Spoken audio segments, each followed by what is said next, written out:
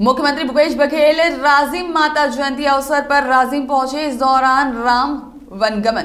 पर्यटन परिपथ में बने हुए भगवान श्री रामचंद्र जी के 25 फीट ऊँची मूर्ति का अनावरण किया। इस दौरान उन्होंने भगवान श्री राजीव लोचन मंदिर पहुँच करके भगवान का दर्शन और पूजन किया। इसके बाद में 7 जनवरी राजीव माता जयंती कार्यक्रम में शामिल हुए, जहाँ मुख्यमंत्री और गृह मंत्री का साहू समाज के पदाधिकारियों द्वारा माला पहना करके स्वागत किया। मुख्यमंत्री ने मीडिया से मुखातिब होते हुए पूर्व मुख्यमंत्री रमन सिंह पर वार करते हुए कहा कि उनके कार्यकाल में धर्मांतरण बहुत हुए हैं।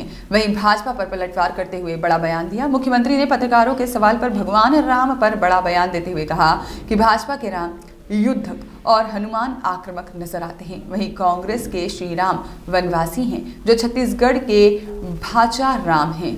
शबरी के राम हैं, कौशल्या के राम हैं, भाजपा राम के नाम पर राजनीति करती है। भाजपा राम के बताए मार्ग की बजाय वोट बैंक के रूप में राम के नाम का इस्तेमाल करती है। वहीं मुख्यमंत्री ने आगे कहा कि वो अपने कार्यों को लेकर जनता के पास पहुँचेंगे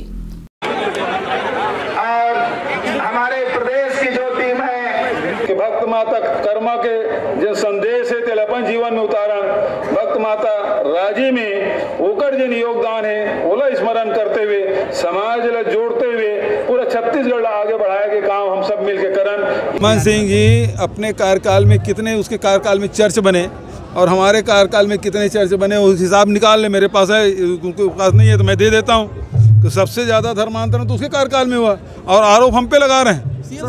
देखिए, राम के नाम से, गाय के नाम से वोट मांगने का काम भाजपा करती है। न गाय की सेवा करती है, न राम के रास्ते में चलते हैं।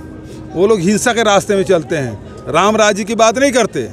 वो उनके राम हैं, वो युद्धक राम हैं। उनके तस्वीर देखिए, हनुमान जी देखिए वो कैसे आक्रोशित हनुमान जी दिखाते हैं। हमारे जो राम हैं, वो बनवासी राम हैं, सबरी के राम हैं। कौशल्या के राम हैं और हमारे हम सब छत्तीसगढ़ियों के भाचा राम हैं। तो हम लोग उस रूप में मानते हैं और ये लोग वोट दिलाने वाले राम के रूप में देखते हैं। हमारा आशा केंद्र है। हम लोग राम के नाम से वोट नहीं मांगते, हम अपने कार्यों के हिसाब से वोट मांगते हैं।